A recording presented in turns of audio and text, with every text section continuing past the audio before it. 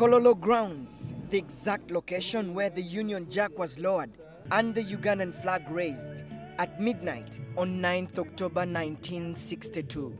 And today, it was filled to capacity as thousands gathered to celebrate Uganda's Golden Jubilee.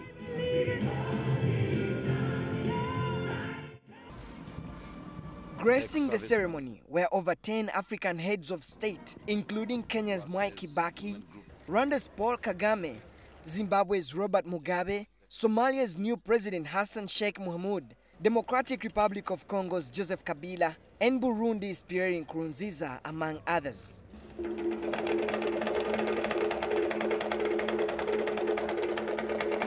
Other delegates included His Highness the Aga Khan and the Duke of Kent, Prince Edward. And there was jubilation as the host, President Yoweri Museveni, along with the First Lady, arrived for the occasion. Filled with national pride, Ugandans sang along to the smooth tunes of the band, playing the national anthem.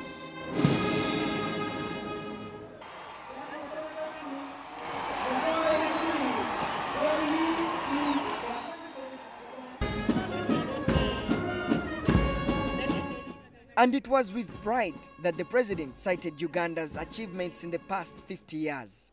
The sight of the disciplined forces sufficient to lead credence to his claims. We decisively handled that factor of a criminal colonial state by disbanding the colonial army and building a new army guided by the ideology of patriotism, led by educated people, professionally competent, and pro-people in its attitude.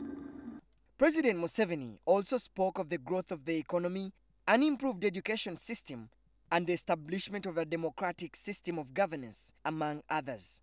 We are now generating 810 megawatts. This gives us a kilowatt hour per capita of 215. We are aiming at 20,000 megawatts in the next few years. Museveni's vision for the future is to transform Uganda into a first-class country within the next few years. With this awareness, plus our anticipated oil revenues, Uganda, without any doubt, will become a medium-income country in the next few years, and certainly a first-world country in the next 50 years.